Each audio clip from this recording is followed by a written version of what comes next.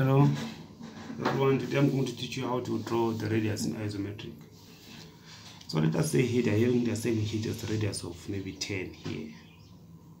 Alright, what we're going to do, you're going to measure 10 from here to here 10, also from here to here 10. Then you draw the line here. So this line must be perpendicular to this line. Also draw another line here. This line must be also perpendicular to this one. So where they meet is your center point.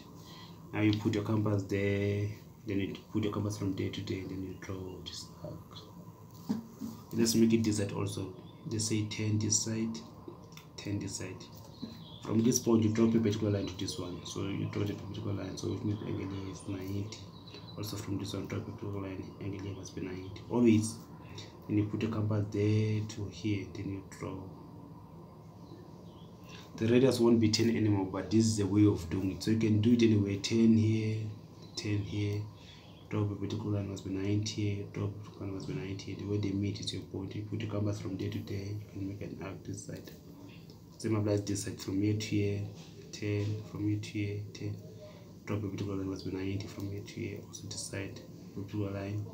Where they meet is your point and then you can just draw. So this line must be perpendicular to line that you from your point. So also here you can do the same thing maybe 10 from here to here 10 also from here to here 10 then you do the same thing. So you can do it anyway. Thanks for watching